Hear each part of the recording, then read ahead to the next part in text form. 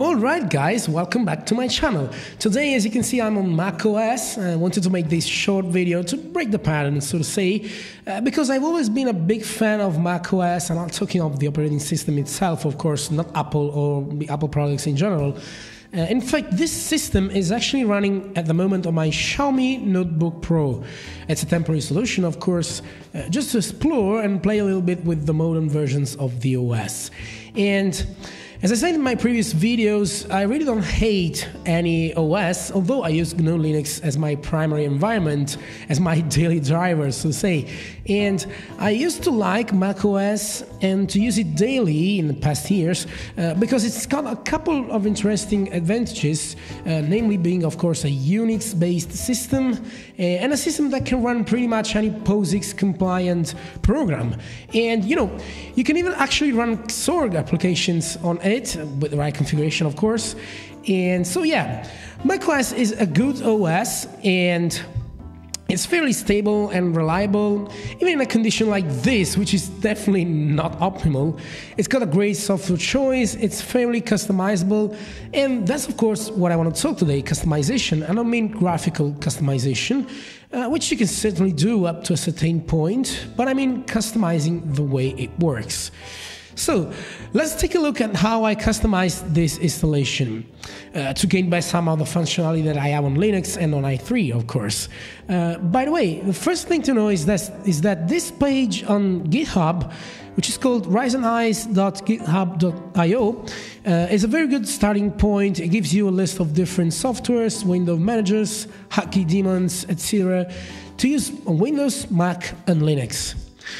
Then the first thing you want to do is install Homebrew, uh, which is pretty much sort of a package manager for macOS uh, that works in Ruby and that will allow you to install a bunch of useful stuff. And as you can see, it installs with curl, uh, which is uh, a utility which many users, not only of Linux world, are certainly familiar with and which is included in macOS, of course. And then using Homebrew, I've installed ChunkWM. Uh, which is a tiling window manager for macOS, and also SKHD, which is instead a, hotkey daemon. Uh, it basically handles your key combinations and what the system should do when you when you press a specific key combination. So, uh, oh yeah, my terminal elimination of choice is of course uh, iTerm. Uh, it's got a couple of interesting features that the full terminal doesn't have. Uh, honestly, it's not indispensable, but yeah, you can't properly rice a system without changing the default terminal emulator, can you? And uh, yeah, a good alternative seems to be Kitty, which heavily relies on the GPU to sort of be lighter on your system resources. I didn't try it, but it seems good. Uh, anyway, as I said, I used Homebrew or just brew, the common is just brew, to install SKHD and ChunkWM. And you just run a simple install command as you will do with any other package manager. Uh, but Brew can also be used to manage uh, services. And in this case, you want to enable the SKHD and the ChunkWM services. And now I've course already done it, so let's just have a look at how these two programs work together. That basically the core of this video. Everything works thanks to them. And by opening the config files, which are usual, usual RC files in your home directory, we can immediately see that ChunkWM has nothing else than a bash script as a config file because it heavily depends on the chunkc command which is its console counterpart, so to say, and it sends commands to the window manager. Uh, you know, it works a little bit like BSPWM in this sense. So I'm basically using a modified version of the default configs here because they're quite good by default. And one important thing for me is that the first workspace, as you can see, is set to floating mode. Um, so yeah, I have two desktop or workspaces, whatever you want to call them, uh, by default that I never close. And on boot up, my first workspace, my first workspace is set to floating mode so I can open windows, move them around, open more new windows, basically like nothing ever happened. And this is nice because uh, when I want to start using the advantages of the tiling WM, the tiling window manager, to start doing more serious work, I can very easily switch to the desktop number two and open Windows in tiling mode. But as you can see, I have a couple of rules over here so that specific applications always open in floating mode, no matter what workspace you are. Those are apps that you definitely don't want to fill your screen uh, when you open them. Another important customiz customization I made is making the window border completely transparent.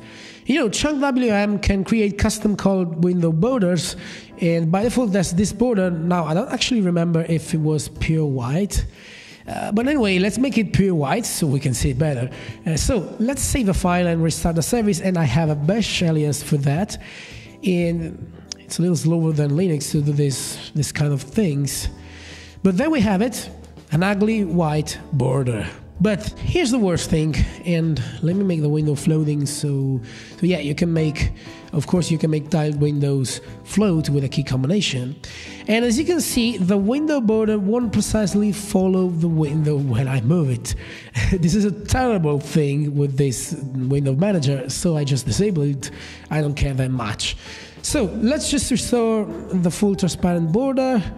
Uh, but speaking of window borders, one thing in that that can be useful is the resize mode. You see, this window manager, of course, has a resizing mode for tiled windows.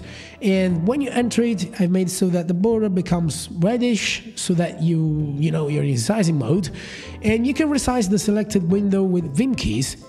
Then you press escape and you go back to normal mode and the borders disappear. So let's take a look at the SKHD config file instead. So at the beginning, I put the combinations to open new programs, and you need to be careful here uh, because macOS uses the super key or the Command key uh, for basically anything and has a lot of key combinations by default for different applications. And so you need to pay attention to avoid conflicts.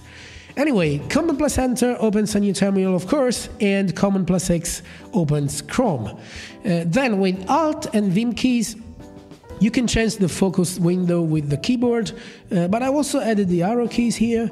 Uh, then we have the swap window function, a couple of comments for the floating windows so that you can tile them a little bit like you do on Windows and on GNOME, I guess. And yeah, for floating windows, Chunk WM actually uses a grid layout to basically handle where they should be positioned. It's not hard to understand, the manual is pretty clear, but however, you need to try a couple of times to fit your monitor and your preference. Then commands from creating a new desktop. I left the defaults here. Uh, you can basically create a new desktop with Shift or Control and then Alt and N, uh, depending on if you want to move or not the active windows there.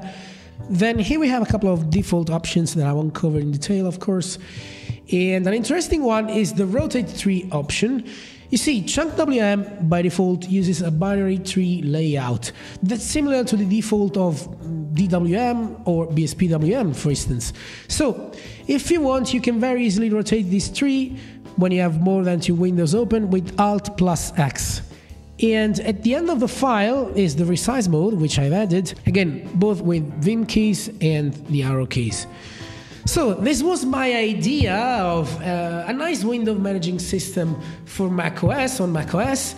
And another thing I wanted to very quickly mention is my Vim configuration. You may have noticed that my Vim looks anything but default. I'm using here a slightly modified vimrc file that I found on GitHub from this guy called Fisa, FisaDev. And it was nice. I didn't have the time to analyze it deeply, but I'll certainly do. And I liked it because it uses a good selection of plugins and settings to make Vim not only look good, but it also adds a couple of useful functions like autocomplete. And especially for Python, which I'd like to learn, uh, this is very useful and very nice.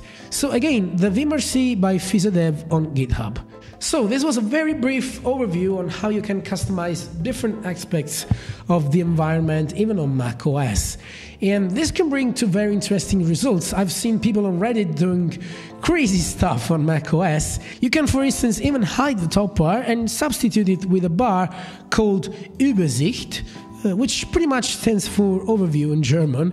And uh, then this bar can be customized with different models and graphics. Uh, there are also a lot of interesting presets out there. It's very nice.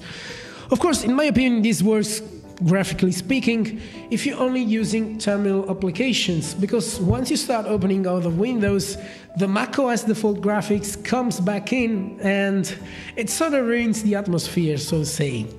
So yeah, I hope you enjoyed this little different video, and if so, please don't forget to leave a like and subscribe to my channel. That really helps, and I really appreciate that. And I will see you very soon. Ciao!